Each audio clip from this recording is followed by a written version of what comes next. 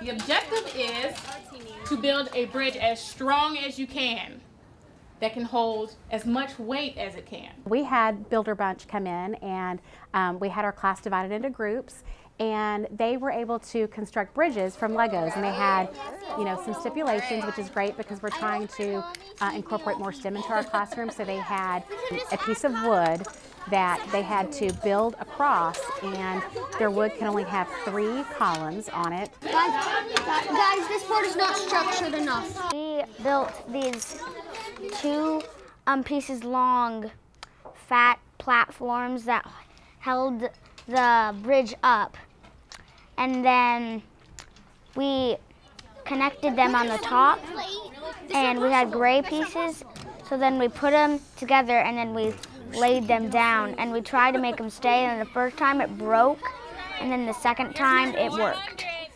Over the summer, um, Cobb County had a workshop, a three-day workshop thing called STEMapalooza. One of the things you could do is enter a contest for building a cell phone holder, and the Builder Bunch company is the one that held that. Whoever won, which was me, got um, an in-school field trip for the entire school. You need to make it stronger so it doesn't break. What do you do? Put some on the top? That's a good idea. Before the summer, I thought I knew what STEM was, but then once I went to STEMapalooza, it was like, oh my goodness, okay, now I really know. And the benefits are just amazing for children. I mean, first of all, it's so engaging. They love the, um, the activities, um, the creativity, the collaboration is wonderful for them.